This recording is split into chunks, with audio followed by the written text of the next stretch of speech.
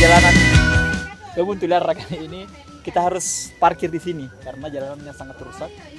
Kondisi tanahnya yang eh, becek masih jauh sebenarnya, tapi kita masih bisa kita harus jalan. Eh, dari sini ya masih satu kilo kayak sekitar satu kilo jalan. Sebenarnya bisa motor tapi karena kondisi jalan yang sedikit licin, maka kita harus parkir di rumah salah keluarga. Oke, ikuti terus SKS. Jadi kuntilaraknya ada di sana.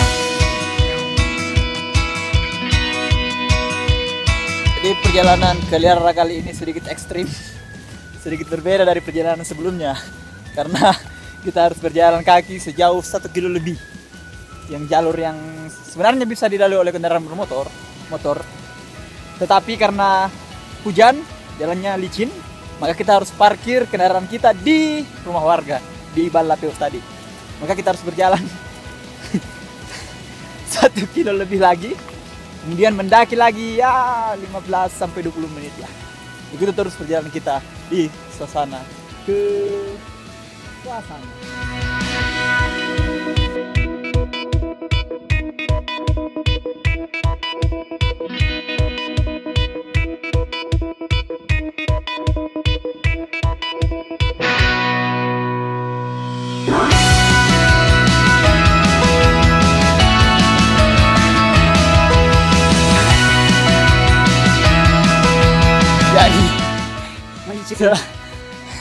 Selain pemandangan di Buntuliara, kita juga disuguhi dengan pemandangan alam lainnya, sawah-sawah, serta gunung-gunung dan bukit-bukit yang berjajaran di sepanjang perjalanan menuju Buntuliara.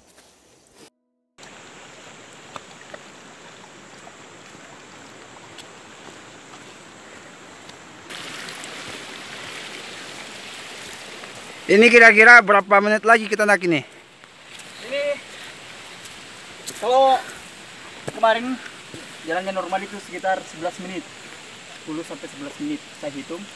Namun karena kondisi jalan yang licin, sepertinya akan bertambah. Mungkin satu, satu setengah kali lipat atau dua kali lipatnya. Jadi sekitar 20 menit lah kita bisa sampai.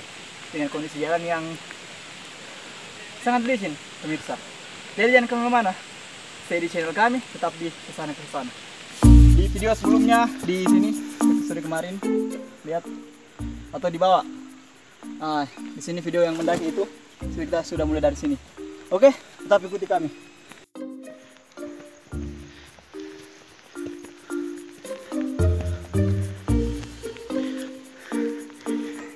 Daki, ini jalannya licin. Jadi kita sedikit terhambat karena kamera saya hampir jatuh. Oi, ada tedong ini. Oh, tedong. Mana sih? Afgan masih kuat? Terlalu sadis seram.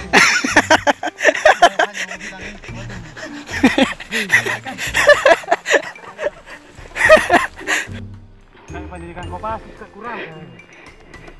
Empat lagi aku ini. Bagi saya ini selalu pernah jatuh jadi nggak bisa terlalu dipaksakan. Tapi masih di kuat itu? Oh insya Allah. Kayak dekat di atas situ. Udah nyala tahu mereka tinggi. Di. Langsung minum enggak panas sih itu merasa. Karena dingin tuh. Satu kali tuang. Dingin biar dulu. Kita minum air panas. Biar hangat, biar lebih hangat ya. Ha, di anu dulu, di jat. Gini, Minum.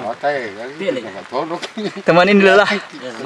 Udah tobat, sudah tobat ikut ini perjalanan ini. Tobat, Belum. masih mau ikut. Tidak. Tidak. Belum, belum. Masih mau ikut. Masih mau ikut. Saya tidak mau eh, apa? Tadi tidak mau karena tadi malam sempat demam. Demam. Jadi hari ini malam tidak apa? Fit tidak fit fit. Akhirnya Tapi Perjalanan selanjutnya masih mau ikut ya? masih Yakin? yakin. masih dong. Cuma ini. Update. Leceh. Apa saya, eh, saya kalau anu kurang salah cepat terus istirahat lagi. Mau kepaksa itu. Capek. Iya, kasih anu lu punya stabil lagi.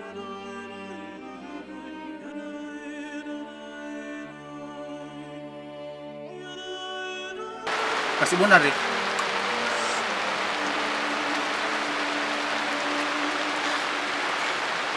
Kayak mandi pagi biasa kalau tuh tak. Di di daerah ini anak di jalan ya ada. Oh ada ya jualan tak sini. Iya. Rokok apa ini. Saya kira itu yang bilang awan. Tidak. Boleh tahu. Tebal dia kalau jadi. Dia kayak apa? Ya. Kelihatan di kamera kalau bau sekai kayak no, kayak seperti pinggang. Ya. Seperti ada itu air, air laut. Oh iya iya. Kalau sini ya. sendok. Jadi Ah, untuk menggambarkan keindahannya saya sudah kehabisan kata-kata.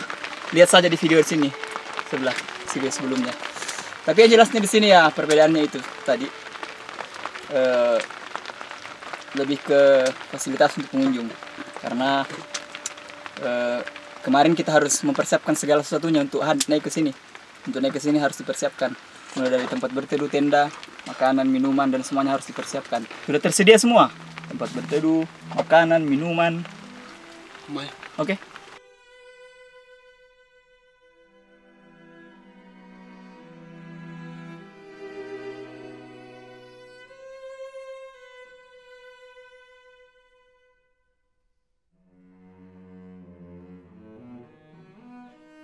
Dan nanunya juga ini apa namanya pirannya kalau terlalu banyak orang ya terlalu banyak juga sembar sembarang juga nah Ya, ya, ya, tuh. betul, betul, iya ya. terlalu suka tidak tuh. bersahabat juga itu alam ya. kan dua dua kali dua hari ini dua kali ini banyak orang ya ternyata awannya juga tidak pernah bersahabat iya tapi Memang eh, apa hubungan dengan alam juga harus dijaga ya. iya Iya.